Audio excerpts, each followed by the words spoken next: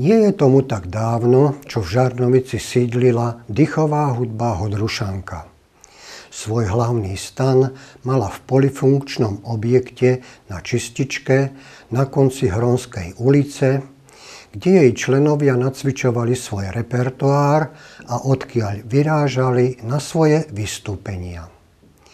Dychovke patril vždy začiatok každého nového roka – už hodružskí muzikanti kedysi na Nový rok vyhrávali pred domami banických rodín a hodrušanka podobne v prvý pracovný deň vyhrávala v našom meste. Neskôr sa tento zvyk trošku zmenil a Dychovka začala pozývať svojich priaznivcov do kultúrneho domu v Žarnovici. Po dve desaťročia dozadu býval novoročný koncert Hodrušanky pravidelne prvým kultúrnym podujatím roka u nás. Pozývame vás pozrieť si záznam z takéhoto novoročného koncertu, ktorý sa uskutočnil 24. januára 2010.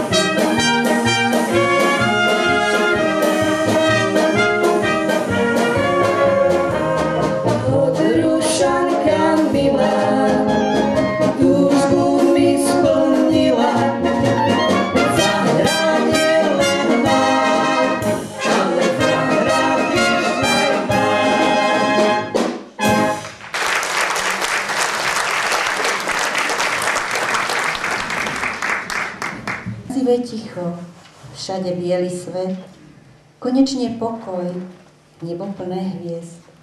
Je to čas sviatočný, keď našli ste si čas privítať nový rok s Hodrušankou zas. Hodrušanka vás v úvode tohto novoročného koncertu privítala polkou Hodrušanka Mila, ktorú špeciálne pre ňu napísal a skomponoval Adam Budec. Pôvodne ju spievali Anka Komorová, Gertuška Sklenárová a manželia Barcíkovci, ktorých tu srdečne vítam. Vítam medzi nami aj pána primátora Žarnovice Kamila Danku.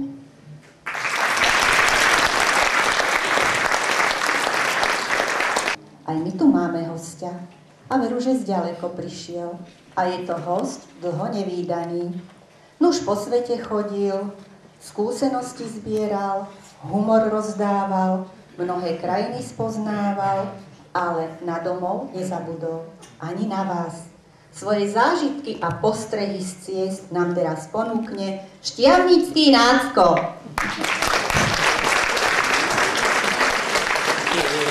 Aeroplánom prišli sme až do Dúbravy.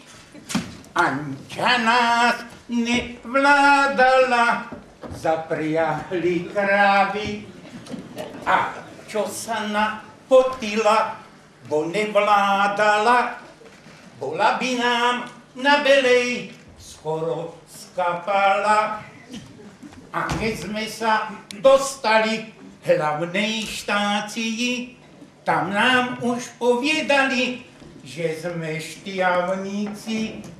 Je to mesto historické, každý dozaista pozná z vás, kde predával vola kedy nácko frišný čas.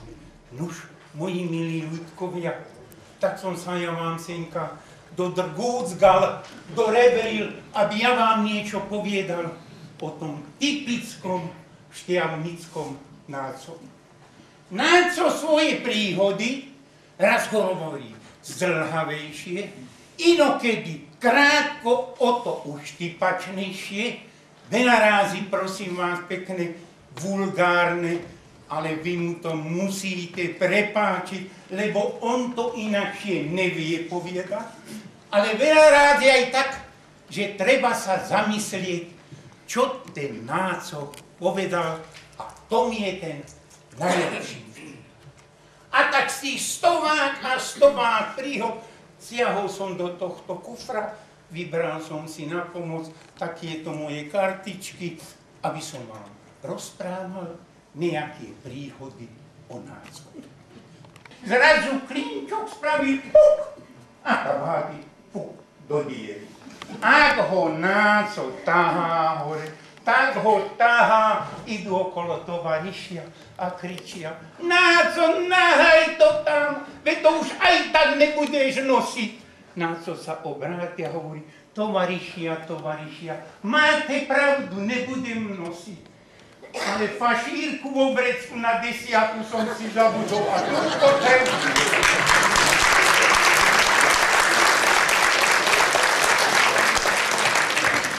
Lenka išla na zábavu do Hodruši. Baninská hudba, Hodrušanka tam hrala. Stará Lena hovorí, Lena, ale že sa riadne pri tej muzike budeš povedať. A keby chlapci niečo chceli tak ich pustí len po štrumpandle. Počuješ? Len po štrumpandle. Ráno príde Léna zo zábavy štrumpandle okolo. Možno do pustenia. Už Léna odkedy, že sa nosia štrumpandle na krku. No mama, ako som večer chlapcom povedala, že smú ísť len po hneď mi ich dali na krku. Ale neboj sa, odtadiaľ hore vyššie som ich už nepustil.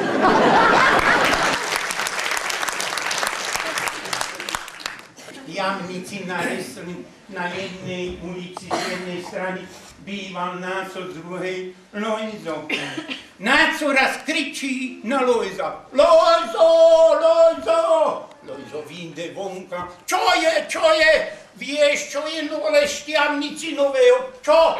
Danový úrad zrušili. Naozaj, naozaj. A ako to vieš? Dostal som poslednú pomienku.